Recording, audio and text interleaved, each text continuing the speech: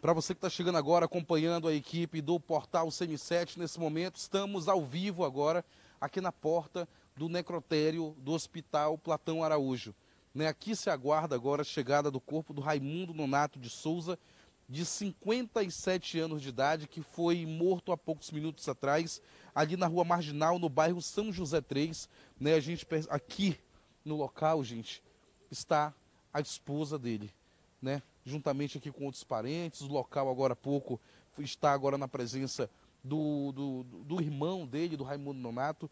Né? O corpo dele, inclusive, já está aqui, está bem aqui atrás, e a esposa está chorando sobre o corpo nesse momento. A gente aproveita para ressaltar, né, para você que está querendo entender um pouco mais, porque eu acabei de conversar com ela e ela foi super gentil comigo, apesar do que está acontecendo na vida dela. Ela explicou para a nossa equipe de reportagem aqui no local que ela, há poucos minutos atrás, né, ele estaria vivo ele foi deixar um funcionário exatamente lá, porque ele comprou esse material de construção há dois meses atrás, e ele sempre deixava um rapaz se dormindo lá dentro, reparando, porque ela disse que lá já foi assaltado, já, te, já houve tentativa de assalto diversas vezes e furto.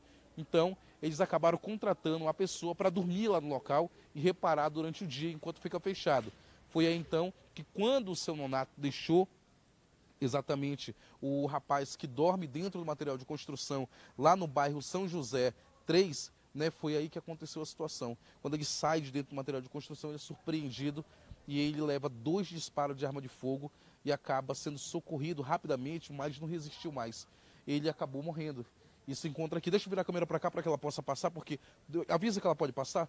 Né? A gente está tá tendo cuidado, gente com a imagem da esposa. Ela está aqui arrasada nesse momento. Ela está destruída por dentro. Ela está chorando bastante.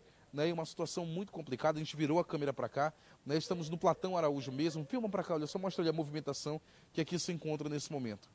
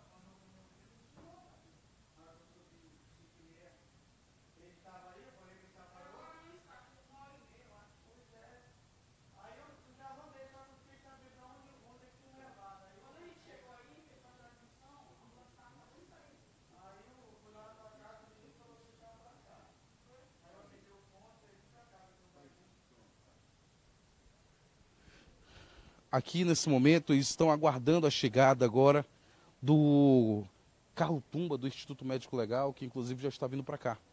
Né, já está se deslocando para cá para o local. Né, é um momento muito complicado. Eles estão ali nesse momento tentando resolver a situação de documentação para a vinda né, do, do para poder fazer a remoção aqui do corpo do seu Raimundo Donato de Souza, de 57 anos de idade. É a idade que foi repassada aqui pela esposa dele. O corpo dele está bem aqui no cantinho. Ela está bastante sentida pelo que aconteceu. Isso aconteceu há poucos minutos atrás. A gente tem imagens nesse momento. É, a gente vai colocar imagens para todos vocês verem em seguida aqui durante a nossa transmissão do que aconteceu ali no local, né, dessa, dessa loucura, porque teve um momento em que ele foi socorrido e é exatamente nesse momento que ele é socorrido é, que começa ali o trabalho de tentar ali é, é, salvar ele, só que já estava sem vida, né, ele já estava ali sem vida na localidade e agora a única coisa que resta é somente o trabalho que eles vão realizar aqui para tentar conseguir liberar o corpo. Eles estão ali pegando documentação, passando documentação de um lado para o outro. É uma situação muito triste, um empresário. Imagina um sonho, ele e a esposa, né, que está aqui. Estava conversando com ela agora há pouco, ela disse, poxa, é um sonho meu. Né? A gente foi comprou material de construção, né? tem dois meses trabalhando, querendo ver resultado. Já compraram pronto, né? ali na rua marginal do bairro São José. E aí, quando menos se espera, acontece uma situação tão bruta como essa.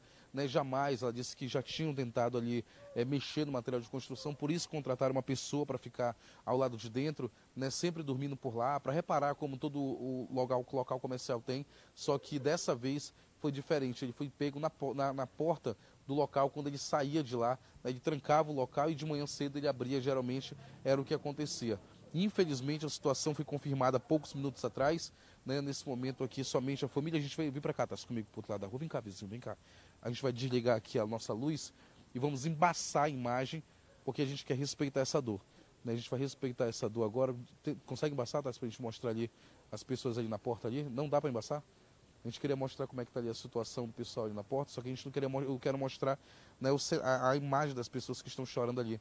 Né? Eles estão na porta do necrotério e a, a, a, a esposa ela não consegue acreditar de maneira alguma. Né? Não dá para acreditar, imagino eu, ver, né? há poucos minutos atrás, saber que ele saiu para fechar material de construção e quando menos se espera, em 10 minutos, recebe a informação. Né? Há poucos minutos atrás foram lá tentar tirar o rapaz que estava dentro do local, né? que dorme lá no local e já fizeram o resgate dele, agora é só aguardar. Né? Só aguardar a, a agora o procedimento que vai acontecer. Infelizmente é uma triste notícia essa que a gente leva para todos vocês. Não estamos falando de um assassino, estamos falando de um pai de família, de um trabalhador e de uma pessoa que tem sonhos e que foram cancelados por assaltantes. Né, a gente vai ficando por aqui agradecendo a imagem de vocês, a audiência de todos vocês que acompanha a equipe do Portal CM7, você que está ligado sempre em cima dessa informação.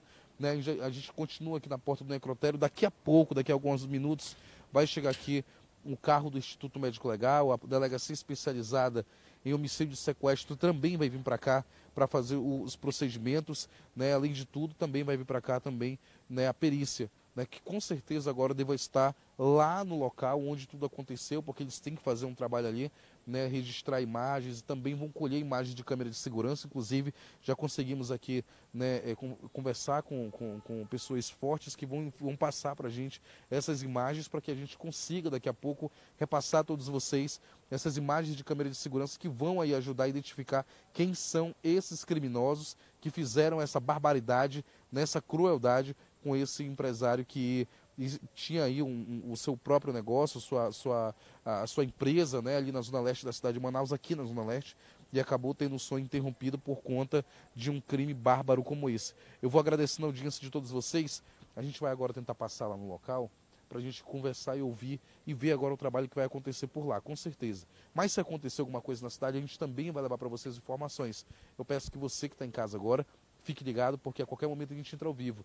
E o nosso número de contato é o 92 37 70 77. Vou repetir, 92 37 70 77. Se acontecer alguma coisa na sua comunidade, no seu bairro, você pode ligar para a equipe do CM7, que é rápido que a nossa equipe chega. A gente vai finalizando por aqui com as imagens de Tássio Pierre, a reportagem de Patrick Jones para o portal CM7 Manaus e o Mundo cabem aqui.